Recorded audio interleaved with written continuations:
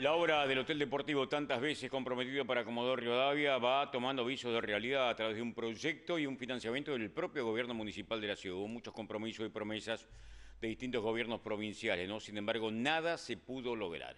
Comenzó la tarea y la obra avanza. Hoy estuvo de recorrida por allí el intendente Linares. Estas son obras eh, en serio, 200 eh, y pico camas para el deporte de la ciudad, para el albergue, para, un montón de funciones que va a cumplir este, este, lugar. Y el avance, si Dios quiere, estamos hablando de abril, mayo del año que viene, poderlo tener concluido.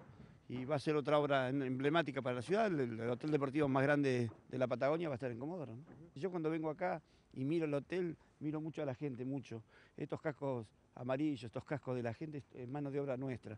Eh, obra para Comodoro Rivadavia, sin duda que tenemos que mejorar muchas cosas, porque permanentemente tenemos que mejorar muchas cosas, no tenemos la verdad absoluta en nada, pero nos obligamos todos los días a ser mejores. Yo digo que tenemos que estar todos, la política es de los trabajadores, porque las decisiones que nosotros tomamos son de los trabajadores, entonces es bueno que se involucre.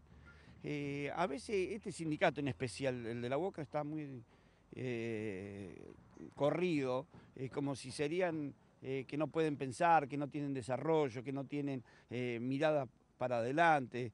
Eh, hay mucho tabú sobre este, y no, y son estos, son un montón de trabajadores, hay más de 8.000 trabajadores de la UOCRA en el yacimiento y en ciudad, y son gente que se ganan el pan todos los días. Y esta obra fue una obra muy consensuada con Comodoro Deportes, participó el Consejo, porque es una obra de arquitectura que realmente era una deuda de Comodoro, eh, es el hotel para deportistas, como se llama comúnmente, donde se van a albergar eh, delegaciones, becados, un lugar que, está estratégicamente ubicado, muy cerca del estadio, cerca de la pileta del Huergo, cerca de la pileta eh, que tenemos homologada por la IAF, que es la pista de tartán en el kilómetro 4, cerca de la, playa. O sea, la verdad que también va a poder tener muchas obras complementarias, canchas aledañas, pistas de calentamiento, lugar para estacionamiento, la verdad que muy bueno y realmente hoy, como ustedes comentaban, el avance no tiene ningún misterio, sí que el municipio está ordenado en sus cuentas, paga en tiempo y forma,